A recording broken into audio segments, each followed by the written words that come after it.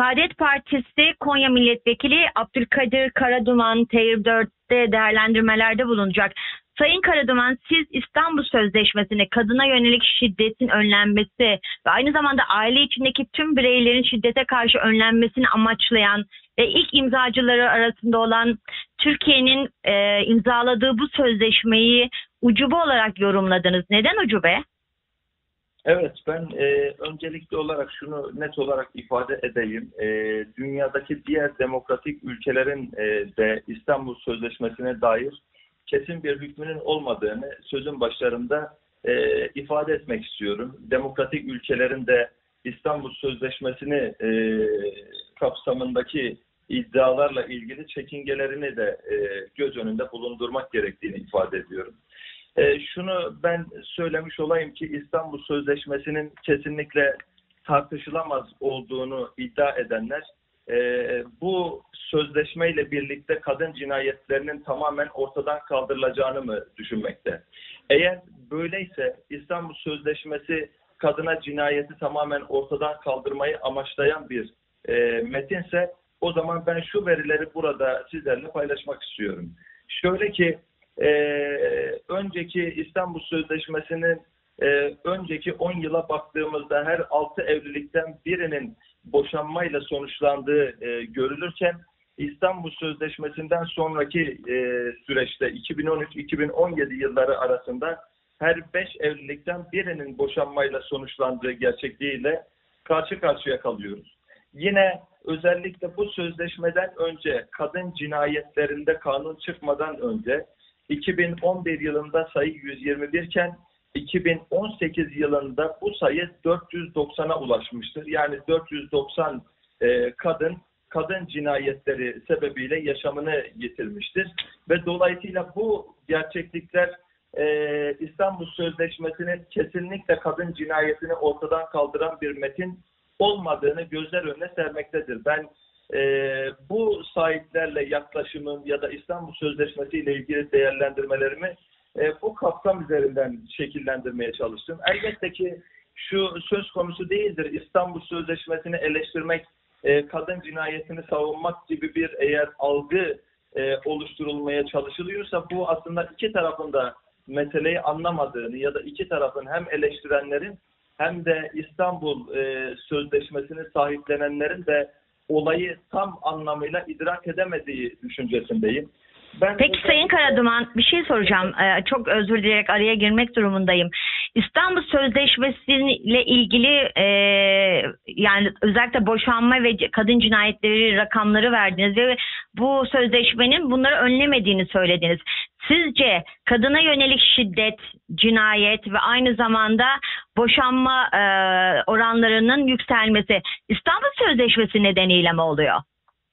Ben şunu ifade ediyorum. Bunun sebebi sadece İstanbul Sözleşmesi de değil ancak İstanbul Sözleşmesi kadın cinayetlerini sadece e, cinsel farklılığa indirgeyerek açıklıyor ve ben bunun yanlış olduğunu düşünüyorum. İnsanların sadece cinsel farklılıkları üzerinden kadın cinayetlerinin okunmasının asla mümkün olmadığını, bunun yanında eğitimin, işsizliğin, gelir dağılımında adaletin, e, belki uyuşturucunun, belki yerine göre farklı sahiplerin kadın cinayetlerini beslediğine dair e, çalışmalarımız, araştırmalarımız bunu ortaya koyuyor ve bunun e, sadece bahsettiğim gibi kadın ve erkek cinsiyet ayrımı üzerinden kadın cinayetlerinin okunmasının e, doğru ya da tutarlı olmadığını düşünüyorum. Peki elinizde şöyle rakamlar var mı siz bir milletvekili olarak aynı zamanda kamu adına da tabii ki siz bu açıklamaları yapmış oluyorsunuz e, siyasi e, kimliğiniz nedeniyle. Elinizde şöyle bak, e, rakamlar var mı? 2011'de kadınların öldürdüğü erkek sayısıyla ya da erkeklerin öldürdüğü kadınlar kadın sayısı arasındaki farkı gö- gösterebilecek e, bir rakam var mı? Çünkü bizim elimizdeki rakamlara göre erkekler tarafından öldürülen kadın sayısı e, tersi e, vakalara vakalarla kıyaslanmayacak kadar fazla.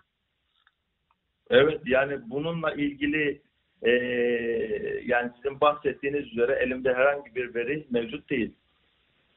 Peki e, siz derhal feshedilmelidir dediniz e, o açıklamanızda tartışma yaratan açıklamanızda aile yapısının e, çökertildiğini iddia ediyorsunuz bu sözleşme eliyle. E, ama kadınlar aynı zamanda aile içi şiddet de görüyor. Ailenin içinde şiddet de görüyor. Ee, siz bunu yok mu sayıyorsunuz? Böyle bir gerçeklik olmadığını mı varsayıyorsunuz? Yani kadınlar aile içinde şiddet görmüyorlar mı? Ya da aile içinde babaları, abileri ya da kocaları tarafından e, şiddete maruz kalmıyorlar mı? Öldürülmüyorlar mı? Çünkü vakalar tam bunu tersini söylüyor. Elbette ben bunları söylerken şunu da net olarak ifade edeyim e, bunları söylerken e, ifademi net olarak okursanız ya da basın toplantımı iyi bir şekilde incelerseniz bununla ilgili hiçbir çalışmanın yapılmaması ile ilgili bir şeyden zaten bahsetmiyorum. Elbette ki kadınlar ülkemizde şiddete maruz kalıyorlar ama bunun İstanbul Sözleşmesi ile ortadan kaldırılacağına ben inanmadığım için bu sözleşmenin yerine farklı kesimlerin de sürece dahil edildiği, akademik camianın bu meseleyle ilgili uzmanların e, Aile Bakanlığı ufesinde bir araya gelerek özellikle aileyi, kadını e, muhafaza etmeye yönelik ve onları korumaya mahsus bir çalışma e, olması gerektiğini zaten ifade etmiştim. Bunlardan bahsederken e, biz 82 milyon e, insanın yaşadığı bir ülkeden bahsediyoruz. Farklı kesimlerin, farklı e, düşüncelerin, farklı inançlara mensup olan e,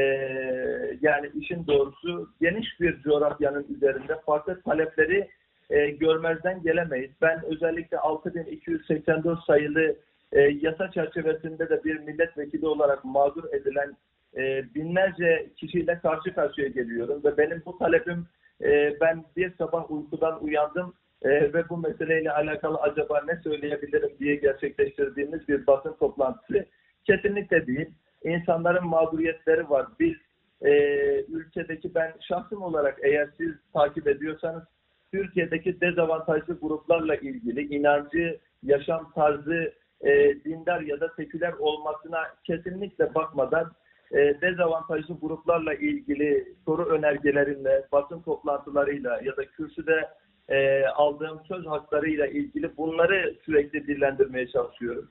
Eğer beni takip ederseniz biz Saadet Partisi olarak da e, gençlik çalışmalarımızla Şule Çet davasının da çok yakından takipçisi olduk. Ama öbür taraftan Alparslan Kuytul davasıyla ilgili de çok yakın bir e, çalışma içerisindeyiz.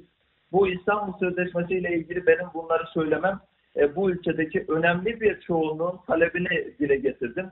Ve bu taleplerin de e, göz ardı edilmesi de bu taleplerin susturulmasının da ben kesinlikle demokrasiye ve çoğulculuğa uygun olmadığı kanaatindeyim. Peki Sayın Karaduman, e, ben de özellikle İstanbul Sözleşmesi ile ilgili epey haberleri takip eden ve o, onun haberlerini yapan bir gazeteci olarak bu sözleşmenin yapım sürecinde Tam da sizin sözünüzü ettiğiniz gibi akademik çevrelerin e, çok farklı mütedeyyin ya da layık kadın e, örgütlerinin yapılarının görüşleri alındığını çok iyi biliyorum Aile Bakanlığı tarafından. Yapım sürecine dair eleştirileriniz aslında e, zeminsiz. E, tam olarak bu sözleşmenin yapım sürecine dair bir fikriniz var mı gerçekten? Bilginiz sizce doğru mu? Yani elbette ki ben e, bunları söylerken o süreçte de e, bu kanunun hazırlanırkenki zeminini de bilerek ifade ediyorum. Biz e, homojen bir toplum yapısına kesinlikle sahip değiliz. Heterojen bir yapıya sahibiz. Farklı kesim diye ifade edilen kesimlerin de aslında aynı düşünce çerçevesinde e, ya da aynı düşünce çevresinde olduklarını bildiğim için söylüyorum ve bunun e, daha da genişletilen bir toplumsal mutabakat zemininde ele alınmadığını yani şudur, siz 10 e, tane sivil toplum kuruluşuyla bu çalışmayı yapabilirsiniz ama o aynı 10 tane sivil toplum kuruluşu aynı düşüncedeyse bunu bir toplumsal mutabakat olarak insanlara anlatamazsınız. Farklı çevreler derken aslında e, mesela kademin de görüşü alındı. Bütün bunları biliyorum ben.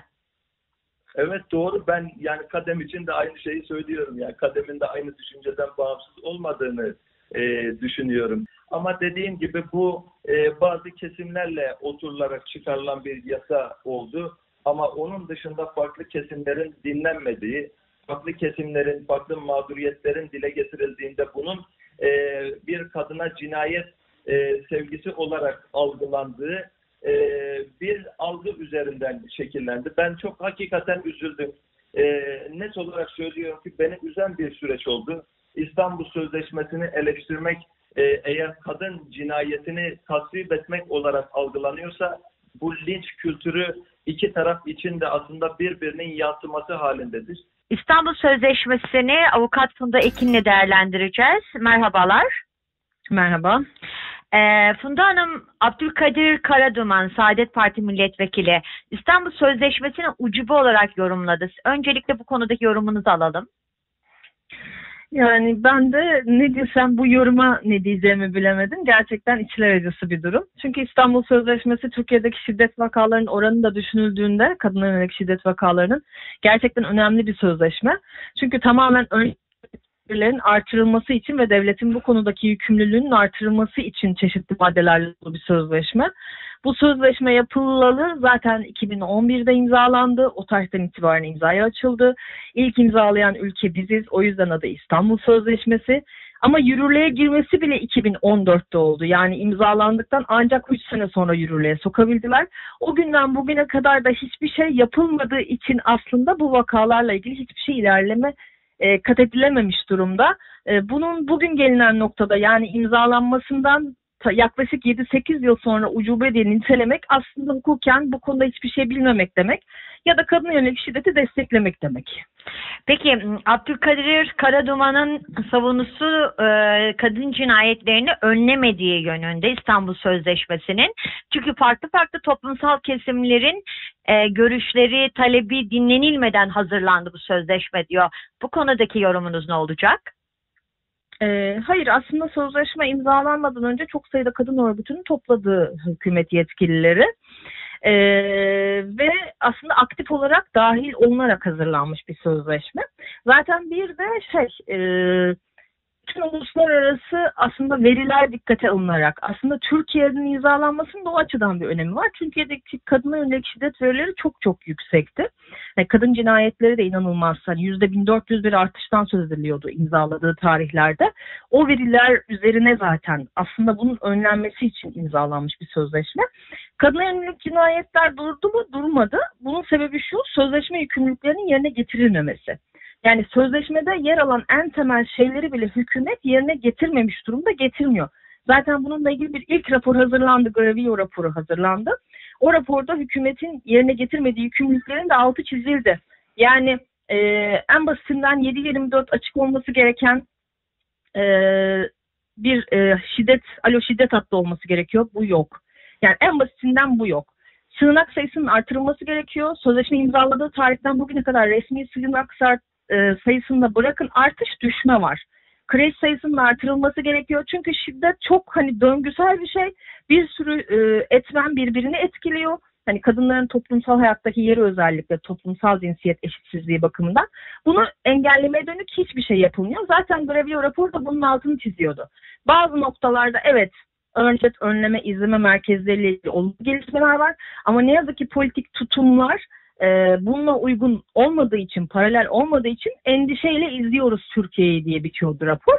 E, aslında Abdülkadir Bey'e de bunun, bu rapora bakmasını önerebiliriz. Yani buradaki sorun e, raporun ya da sözleşmenin kendisindeki sorundan kaynaklanmıyor, uygulanmamasından kaynaklanıyor. İstanbul Sözleşmesi ve 6284 yasasına yönelik bu açıklamalar e, son dönemlerde arttı. Bunu neye bağlıyorsunuz ve burada hedef ne gerçekten sizce? Bence burada açık olarak hedef kadınlar. E, bu tutumun arkasındaki sebep de e, muhafazakar e, yaklaşım, kadına e, ikinci konumlandıran ve böyle bakan yaklaşım. Hükümet direkt böyle bakıyor. Zaten aslında İstanbul Sözleşmesi'ni imzaladıktan sonra e, boşanma raporu hazırladı biliyorsunuz. Uzun bir adı olan bir rapor bu. E, bu raporda e, kadın yönelik şiddet vakalarını da kadınların boşanmasına bağladı. Kadınların evden çıkmasına bağladı.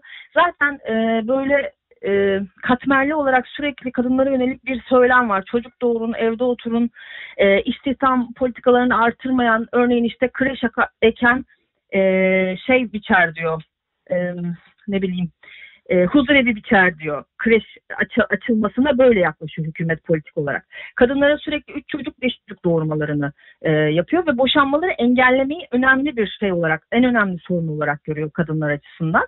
E, özellikle LGBTİ bireyler ve toplumsal cinsiyetle ilgili de bunun toplumsal değerlerimize uymadığına yönelik. Bu açıklamalar sürekli ardarda arda geliyor. Son zamanlarda çok arttı. Bunun sebebi politik bakış açıları diye bakıyorum. Yoksa ne İstanbul Sözleşmesi ile ya da neden kadın hakları ile ilgili bir durum yok. Daha bir gün önce TÜBAKAM'ın bir toplantısı vardı Barolar Birliği'nde. Orada nafaka ve İstanbul Sözleşmesi özellikle değerlendirildi.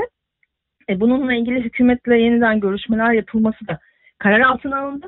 Zaten bu kazanımlar aslına bakarsanız onların direkt verdiği kazanımlar değil. Hem gelinen noktada cinayetlerin ve şiddetin son derece artmış olması bunu engelleyememelerinden kaynaklı. Hem de kadın hareketinin ciddi bir şekilde bastırması hem ceza yasası sırasında hem medeni yasa sırasında bu kazanılmış hakların e, geriye gitmemesi için uğraşması sonucunda gelinen bir noktaydı. E, anladığım kadarıyla politik olarak kadınları eve hapsetmek istiyorlar. E, böyle bakıyorlar kadınların e, pozisyonuna hayatta. Bu yüzden de bu yasaları geri almaya çalışıyorlar. Yoksa 6284 ile ilgili bizim yaşadığımız uygulamada avukatlar olarak yaşadığımız sorunlar e, bu yasanın uygulanmaması ve bu yüzden şiddetin önlenememesi. Yoksa oradaki tedbirler tek tek alınsa hükümet buna topyekun genel bir bakış açısına sahip olsa ve bunu uygulasa bu şiddet gerçekten önlenebilir.